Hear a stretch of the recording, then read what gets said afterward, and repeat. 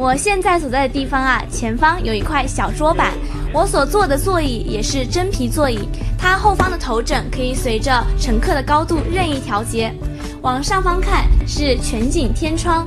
望向窗外，我们可以看到贵阳这座城市的不同景观。这里啊，既不是高铁，也不是火车，而是贵阳新开通的 K 五三路公交车。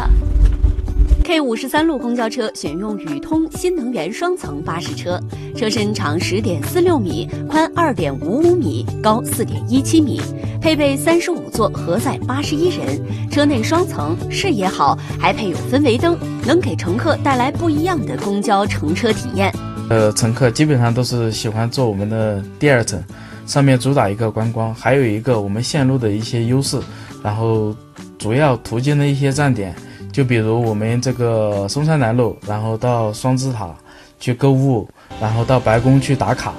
K 五十三路公交车正式开通，从桂旅文体中心启程至松山南路，全程二十四点二公里，途径南明区、云岩区、关山湖区、白云区四个区域。途经站点包括白云公园、花果园双子塔、花果园购物中心、贵州金融城等城市景点。票价试运行期间五元。然后根据市民的出行，我们也建立了微信群，然后不断在里面听取那个市民的一些意见和建议，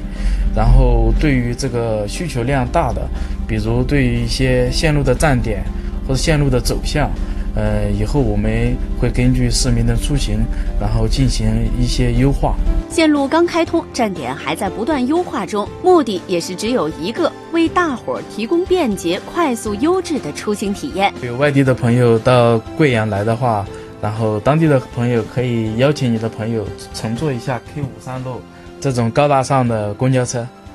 百姓关注记者报道。